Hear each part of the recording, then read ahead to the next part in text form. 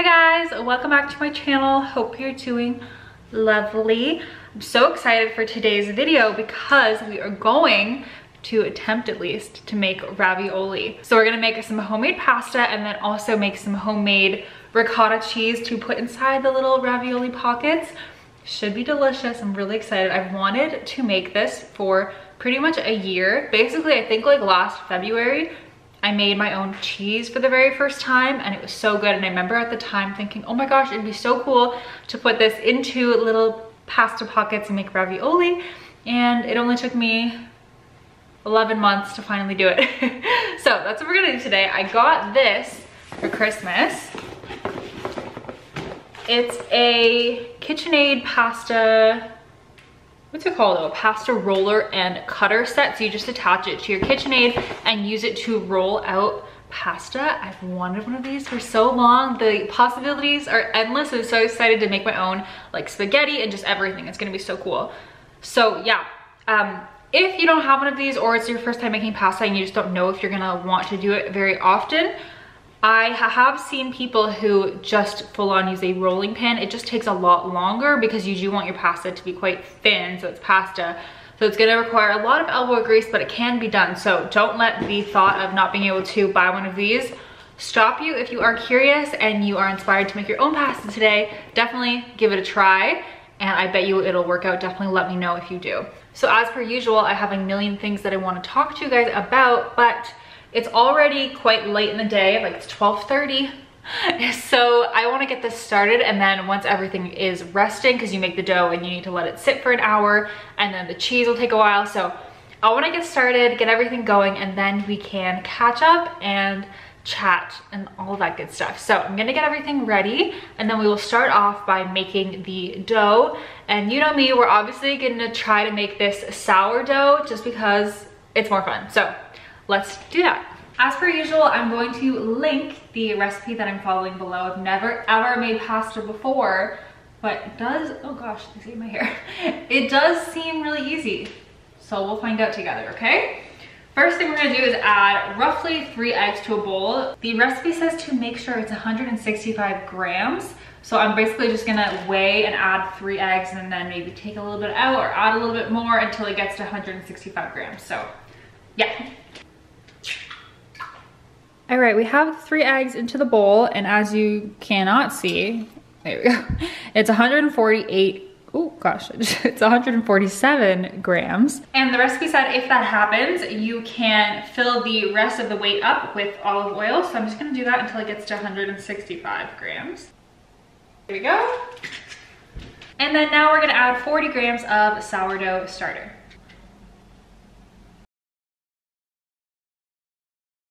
Okay, love you, darling, bye. Sorry, my man's on his lunch break, so he just called me. Okay, next we're going to take you can use any whisker you have. I have a sourdough whisk that I literally never get to use. So I'm gonna actually use it right now to just whisk the starter, the eggs, and the olive oil together. So we're gonna move this off to the side for now. And you're going to either, if you have a food processor, you can also make it in there, but I'm just gonna use my KitchenAid and the dough hook and make the dough that way. So now something that I had never even heard of until I was looking into how to make pasta is there a specific flour that you can get for pasta. This is called the zero zero style or you might see like tipo, like T-I-P-O. I think that's Italian. Zero zero, any kind of flour that is specific for pizza and pasta should be good. I think in a pinch you could probably get away with all-purpose flour, but I think this is like a lighter flour. I don't really know why, but the recipe stressed to really use this. So if you can get your hands on it, then give it a try. And if you can get an Italian brand one, that would be even better, especially if you find that you struggle with digesting gluten and flour. Italian flour is just so much easier to digest. It's so much better for you. Uh, but I just get my groceries from Walmart and they don't have fancy things there. So I make do with what I can find. So we're gonna add 300 grams of flour to our bowl. And now we're just gonna pour the egg mixture into the flour. And then make sure you have the dough kneading hook attachment and then just knead on a medium setting until it forms an actual dough. Okay, here's the dough. and I've just wrapped it tightly in plastic wrap. Now it needs to sit for at least an hour at room temperature. And while we wait, we can get started making the ricotta cheese for the filling. So the ricotta seems like a very easy recipe. Definitely this or farmer's cheese is gonna be the perfect beginner cheese recipe if like me, you've never really done this before. So to a large pan, right here as you saw, I added this entire carton, which is two liters of whole milk. And I'm also gonna add some salt, half a teaspoon and then stir occasionally with a wooden spoon and we're just gonna warm this up until it starts to bubble on top. Make sure you do this on a really low heat setting because you don't want it to burn. This will probably take about 20 minutes so I will update you once it's ready. While we wait, we're just gonna add the pasta flattener doohickey thingamajig. I always wondered what the heck this was for. There's this little contraption on here and it always unscrew. It just annoyed me. Like, why did they make it like this? What's the point? And now I get it. This is where you add all of your KitchenAid attachments. So I think you just kind of pop it in. Haha. okay, that seems good. I'm really excited to try this. Now, while we wait, I just kind of wanted to rant a little. Um, I don't know, maybe I shouldn't try not to rant, but just chat with you guys, okay? So I've been getting a lot of mean comments, I would say lately, about how I dress and how it's not modest enough. And in comparison to how I used to dress, I think I dress really good. I'm sure there's always room for improvement literally in every aspect of my life and I'm working on it and I'm letting God change me in whatever way he sees fit. But I think that it is really not helpful when you provide truth, which I know Christians are called. We are called to provide truth and guidance to other people. But I think that there is a huge difference between doing that with love and doing that with hate and like just being mean spirited. And anyways, some people have been really gracious, which I appreciate, but there have also been a lot of people who are being like unreasonably mean. And I think that makes Christians look bad because that is not what the Bible calls us to do at all. We are called to speak truth with love, not with hate. Also kind of in the same vein as modest dressing. Yesterday I did a little Instagram story and I was talking about how I live, you guys all know this, so people on Instagram might not know that I live with my fiance and we, we bought this house together two years ago and now we're getting married, like we're not even married yet and we live together and we have sex together and all of that kind of stuff that is, none of that is holy or biblical and definitely not what I would recommend other young girls do or my own kids one day. Like I definitely don't think that that is the best way to go about it. But like I said in my Instagram, life is messy. We don't always live the way that God calls us to, especially for a lot of us. Like I didn't grow up Christian. I didn't know any of this. I didn't know literally any of it. And so I think sometimes people who maybe grew up, this is just my assumption. I'm not, I'm not these people obviously, but I think sometimes people just grow up in like what I picture to be a really perfect way where they were actually raised correctly. And so then they can't understand how someone could live completely differently and make all of these mistakes and they therefore are really cruel about it. And I just think you should consider yourself lucky that you were raised right and something that I definitely hope I can do for my kids so that they don't go down the same path that I do. But yeah, anyways, I talked about how I still live with my fiance and then I got a lot of mean messages from people saying, oh my gosh, how can you call yourself Christian and then live with your fiance and do all of these things? And like, you don't know me, you don't know that we did this years ago before I ever found God. So anyways, the internet has just been annoying to me the last day. so yeah, moral of the story, judge if you will, but do it from a place of love and actually providing help and guidance and not just being cruel. And I know it's the internet. Like I replied to a couple of these mean DMs that I got just explaining and they were all like, oh, I'm so sorry. I didn't even think you were gonna read this message. So just remember that the internet might not be real life, but the people are real on there and they might read your messages and maybe you'll feel bad about what you said because it wasn't nice. okay, anyways, I think that our milk is ready, so let's make some cheese. So if you have a thermometer hanging around, you can use that and you want it to reach 185 degrees. Yeah, we're pretty much there, so that's good. If you don't have a thermometer, you basically just want it to look like it does right now, where it's a little bit of bubbles and almost like, you might not be able to tell in the video, but there's like a film on top. That's when you know that it is ready for the next step. So now bring the heat on your stovetop all the way down to the very lowest setting. And then you're gonna pour in either three tablespoons of fresh lemon juice or I have three tablespoons of white vinegar here. Okay, and then now slowly stir for two minutes and hopefully if it all goes to plan, it will start to form little curds, which is the ricotta cheese. I just wanted to add one last thought to my rant.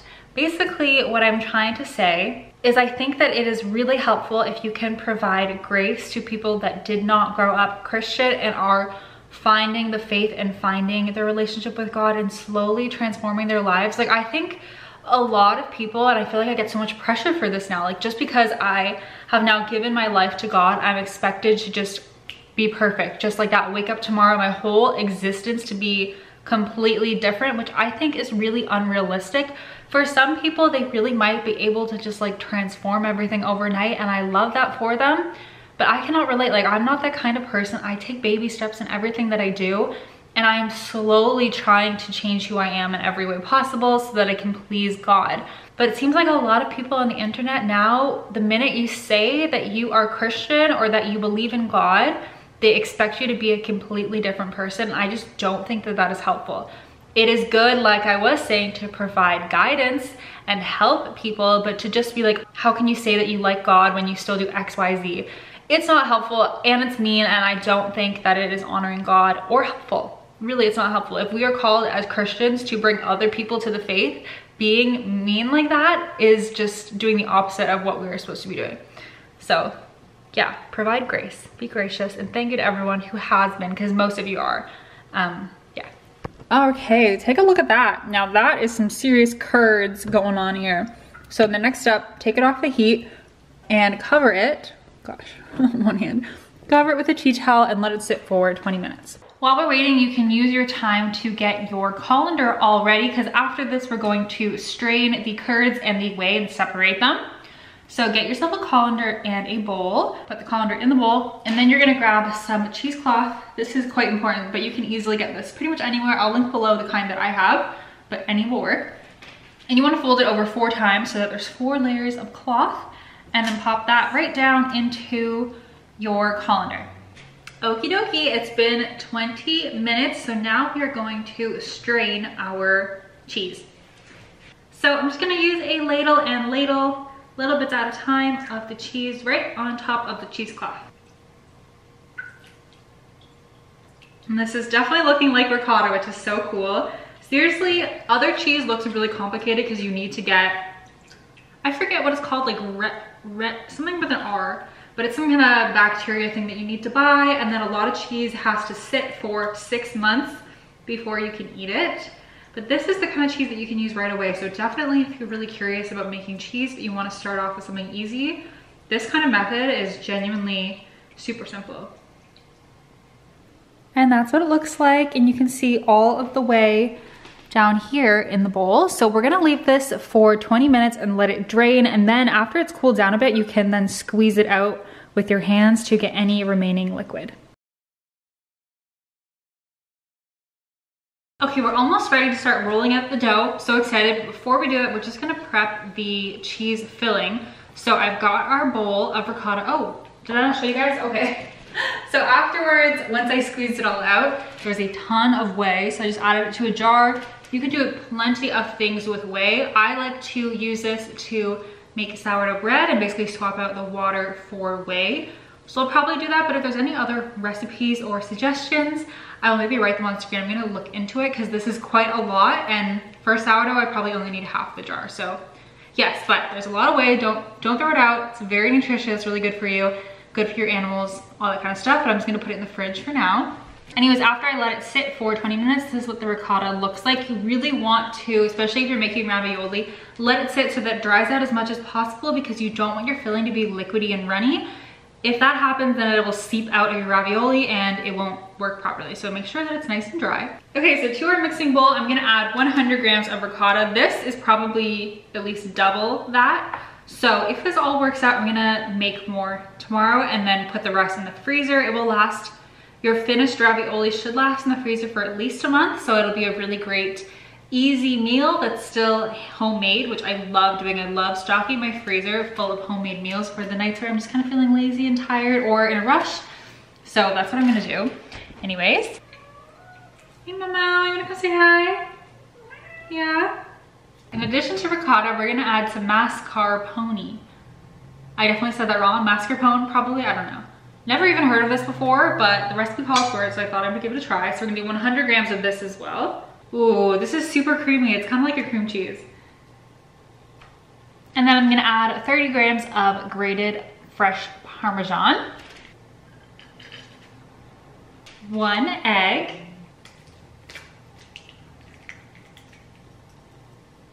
And then I just added some basil, Italian seasoning, salt, and pepper, and then we're gonna stir it all up. Okay, that looks like a pretty good filling. I'm just gonna taste it. You wanna make sure that it's really flavorful so that it will come through the actual pasta noodle and taste good still. Mmm, oh, oh yeah. Mmm, that was really good, okay. So we're gonna set this aside now. I'll probably just put it in the fridge to wait. And we're gonna roll out the dough, finally try my pasta roller. So excited about this. Sorry, that camera is not the vibe, but I had to get a close-up shot.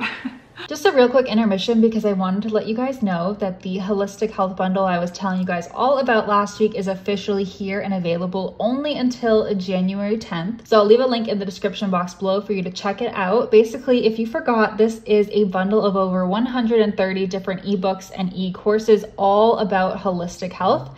If you were to buy each of these individually, it would literally be almost $9,000, but you can get it right now for only 50. This is a culmination of years of expertise from top health professionals, doctors, nutritionists, and wellness experts. There's a huge range of topics from herbal remedies, natural cleaning products, postpartum health, cycle tracking, natural birth control, hormone balancing, immune system support, liver and oral health, delicious, nourishing recipes like seriously, so many that I can't wait to try holistic pregnancies, parasite cleanses, meditation, detoxing, literally everything really that you could ever want to know about holistic health is in this bundle. There is hours and hours worth of information and it is just seriously such a blessing. Basically, it's a one-stop library of all the resources you could ever need for achieving optimal health and well-being, and it's literally 99% off right now, only until January 10th. So if you're interested, I will leave a link in the description box below. This really is such an incredible deal and a perfect way to jumpstart your health journey and have a really amazing 2024. Just cleaning up first before we get started. Still loving my homemade pine sol from last week's video. It literally smells so good. Been really liking it. Oh, and someone commented recently saying that I should try selling my unpaper towels on the Milkmaid Supply Co, my small business, and I'm totally have that in the works. It's actually something that I thought would be cool, but I didn't think anyone would be interested. But when one of you commented and suggested it, it just kind of fueled my spark. So that might be one of the next products that I launch. I also have some clothes and other aprons. Oh my gosh, I'm really excited, but sorry. That's not the point of this video. I won't ramble. okay, so we have our dough here. It's been sitting for closer to two hours. Yeah, maybe an hour and a half. I don't really know, but it said one to two hours, so we're totally fine. So I'm just gonna take it out of the plastic wrap now and cut it into four pieces. To make sure it doesn't stick, I'm going to flour with some semolina flour. Uh, apparently this is an essential ingredient for homemade pasta. I've never even heard of semolina flour before. Sorry, you can hear Bobo. She's playing with something. What is it, Lena? What? What? You got your ball? Oh, Lena. Oh, it's kind of weird, like grainy. Feels like really tiny couscous. Anyways, I'm gonna sprinkle this, cut the dough in four pieces. Bubbling. I'm trying to talk here, you goose. Ay, ay, ay. Okay, leave one piece out and then you're gonna put the rest back into the plastic wrap for now so it doesn't dry out. Both of them are going crazy right now. What's going on with you two?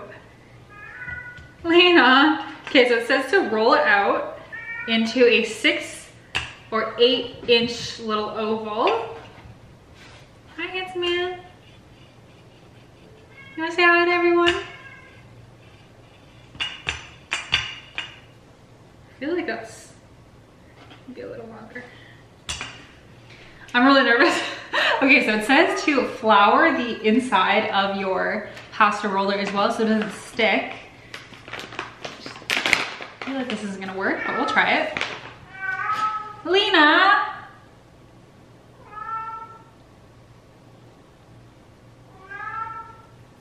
Okay.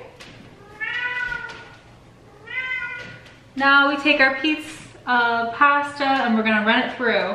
Start off on level one and then progress as you go all the way to five because you want it to be quite thin.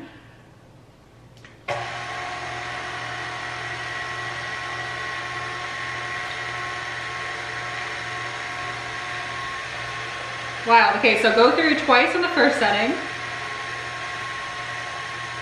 this is so cool. Okay, now we're going to increase to level two and then we'll progress as we go. How do I, oh, okay, so pull the knob out and then back in. There we go.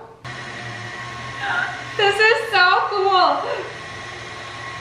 Amazing. All right, I'm just gonna continue working my way up till level five and then I'll update you guys. Oh my word.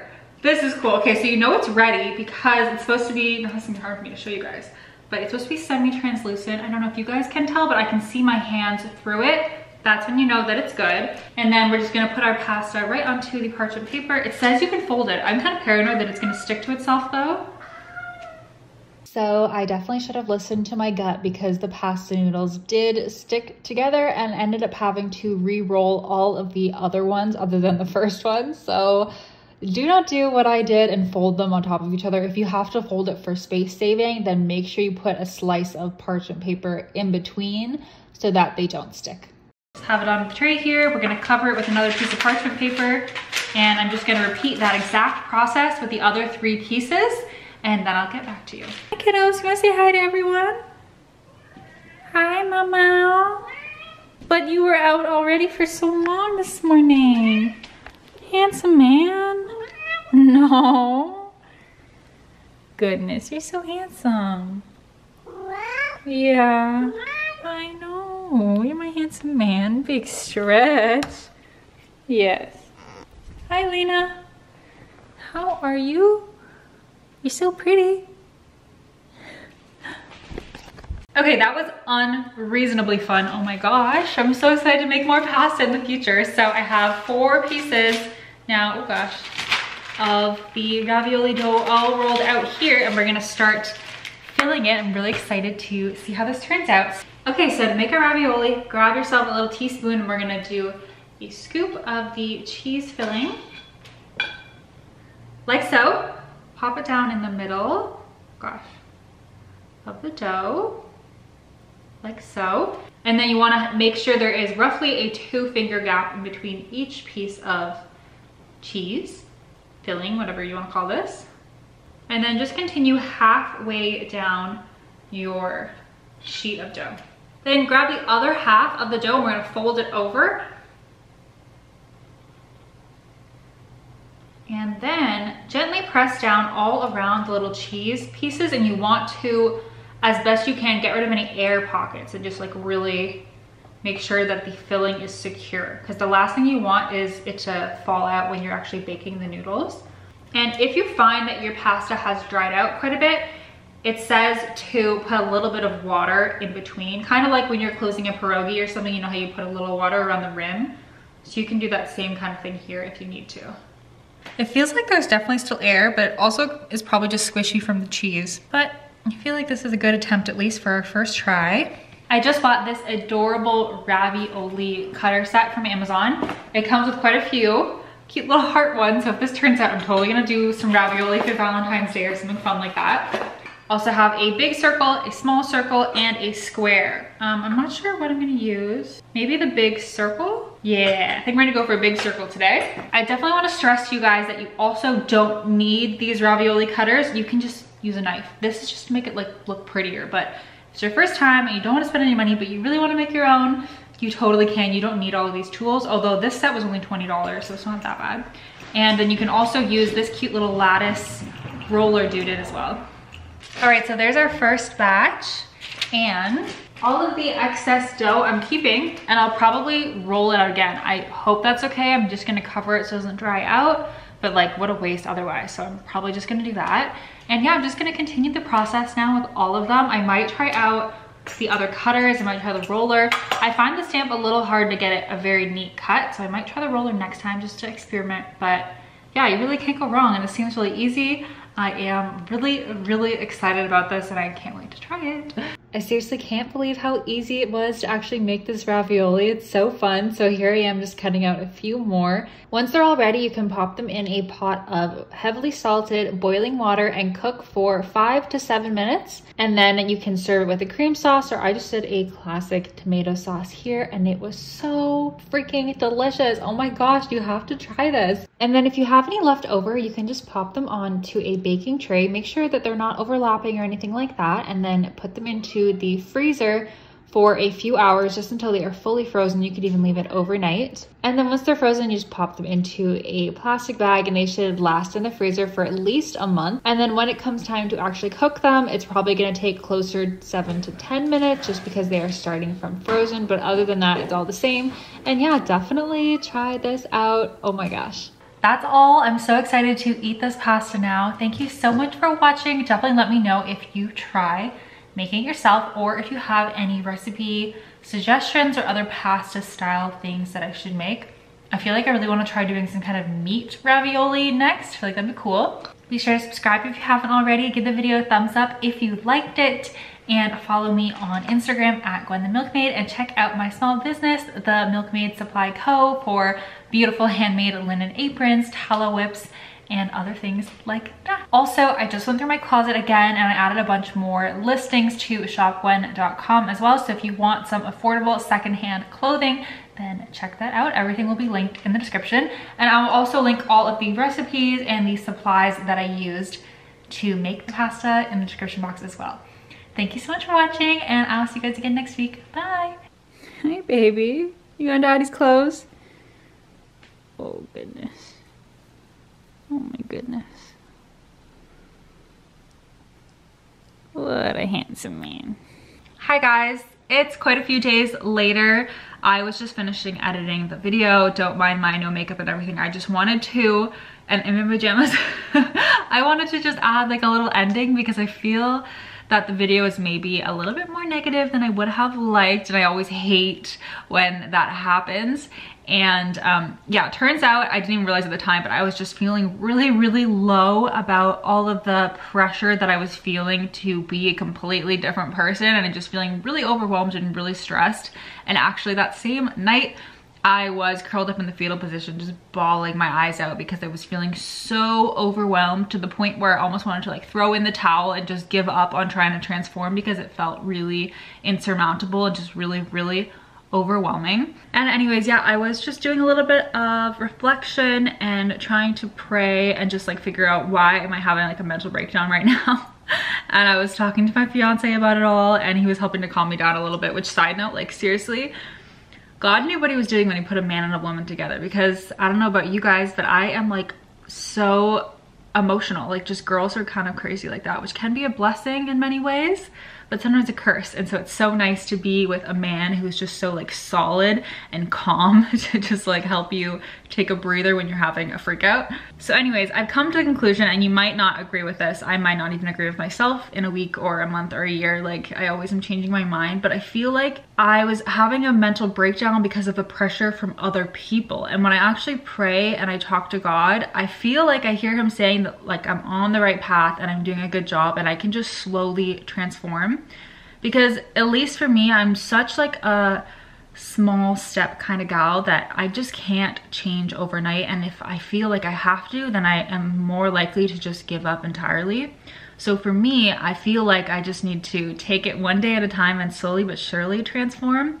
So for an example, when it comes to modesty, like I'm even just thinking about my transformation in terms of how I used to dress versus how I dress now, even if it might not be modest enough for some people. The reason that that happened was not because I felt I was not because I heard other people tell me that I need to dress more modest. It happened naturally as I grew closer to God and I learned more about how he wants me to live that I would start putting on my tiny little mini dresses and I would start to feel just like naturally uncomfortable. Like it just happened. It wasn't because people told me to change. It was just because God changed my heart and also because I saw other girls dressing modest and that inspired me. So I've come to the conclusion that first of all, baby steps is okay, okay? Don't let anyone tell you that it's not. Obviously it would be great if you could just change like that. But if that is not in your wheelhouse, then slowly change. Take your time if you have to. It's better than not changing at all and not becoming who God wants you to be at all. So baby steps are okay, at least as far as I'm concerned. And that's what I'm going to do because I really don't think God wants me to have a mental breakdown whenever I think about all the ways he wants me to change and just totally giving up. I think God is okay with me taking my time and being gracious because he is so compassionate and amazing and just the best and we love him. And number two, I think it is way more effective if we want to help others come closer to God and to live godly is to just inspire them because when it comes again to the modesty i was inspired by girls that i saw who were covering up their skin more and i thought they just looked so elegant and way more beautiful and that is what made me want to dress more modest and so I think that that is just a lot more effective. Like just lead by example, show the world what it means to be godly, to be Christian, and let them come to you with questions rather than just seeking people out and telling them that they're not doing good enough. Um, especially people on the internet, like, I don't know, I get messages like the same one all the time and so it starts to get annoying and not actually helping and I feel like it kind of almost stunts my growth because when people tell me to do something I just have that kind of personality where I don't want to do it now. Like I don't want to be told what to do. So I feel like if you don't tell me what to do and you let God tell me that I will do it, he's the only person that I actually will listen to. Everyone else is just like annoying and you slow down my progress because now every time I pray to God being like, okay, show me how you want me to dress. All I think about is how annoyed I am at everyone else for telling me. So that's my message to you. That's my thoughts, my updated thoughts Baby steps are better than nothing and um, lead by example. After the last couple of weeks and all of the messages I've been getting, I'm starting to truly understand what it might have been like if I had grown up in a Christian household and was raised by some parents and just a culture that was really strict and told me what to do. Like now I understand the whole phenomenon of the Catholic schoolgirl who goes a little wild because when you are so boxed in and so controlled, it is really, really tempting to just completely reject it all. So anyways, that's my updated thoughts. I just wanted to come on here and tell you what I have been thinking since filming the video. And um, yeah, I think I was also just feeling really upset because I was getting a lot of messages people, especially guys. Not that it matters, but I don't know, it makes me extra mad that it's men sending me messages hating on my fiance and just saying really mean things about him. They don't even know him. And I think that also just really overwhelmed me. The whole thing was just really stressing me out and I had to take a couple of days of not looking at messages and just try to talk to God and reflect. And I swear, um, I've come to the conclusion that I just need to follow God's plan for me and trust that he will change me in his own perfect time and that I don't need to uh, put so much thought into what other people are saying because I know that I will change the way God wants me to change as he lets me change so yeah, that's all. That's my little update. I had to just come on here and try to end this a little bit more positively because I was cringing a lot whilst editing. Yeah, okay. Love you lots and I'll see you next week. Bye. Hi, Mama. What a handsome man. Oh my goodness, look at my handsome boy.